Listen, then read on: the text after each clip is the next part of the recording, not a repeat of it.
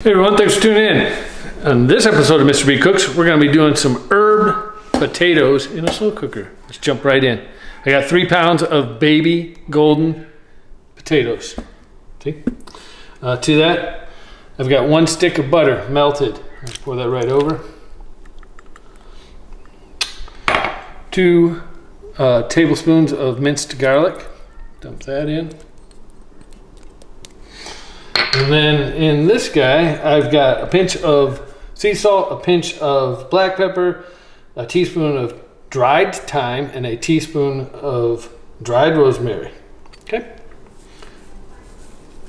That's all there is to it. With everything in, we're gonna cook this on high for three to four hours. Uh, so we'll see you then.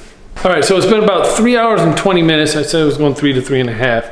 Uh, I probably could have stopped it earlier, but it also doesn't hurt to go a little longer. So you can see that uh, I did stir a little bit uh, so that I would prevent them from burning because they do get to brown. Uh, they look pretty good. There's still a little bit of that butter on the bottom. So there you go. I've got a bunch of these uh, laid in and you can see how easy they squish apart and it's nice and tender. Uh, that's exactly what you want, a nice tender potato. Uh, perfect as a side dish to just about any meal. so you know the drill. Subscribe, share, like, comments down below. Let me know what cool uh, potato recipes you guys have and share them in the comments. Otherwise, take care.